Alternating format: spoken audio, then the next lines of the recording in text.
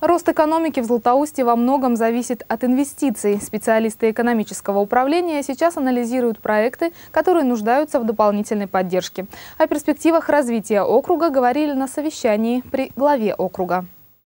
Одним из основных направлений программы по развитию социальной и экономической сферы Златоуста является увеличение инвестиций. Именно вложения в важнейшие проекты могут положительно повлиять на рост экономики города. Большое внимание заакцентировали на наших инвестпроектах, которые на сегодняшний день уже реализуются на территории округа.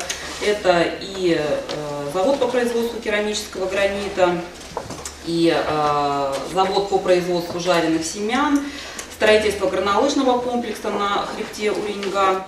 Обратили внимание заместителя председателя правления на то, что э, для реализации данных проектов и привлечения новых инвесторов нам, конечно же, необходимо э, именно рассмотрение вопроса о э, налаживании инфраструктуры в нашем округе.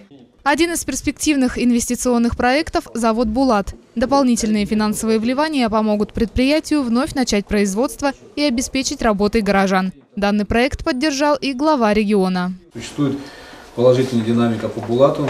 По-моему, четыре объекта, да, Александр Ильич, сейчас дают в аренду, но мы по «Булату» говорим о том, что необходимо кардинальное решение по данной площадке для того, чтобы ее загружать производственной площади. Отдельно работает комитет по арсеналу, и Борис поддержал нашу идею. Арсенал – это хорошее место, историческое место по созданию музея клинкового оружия с реконструкцией, с площадью, как это должно, в принципе, быть в Златоусте.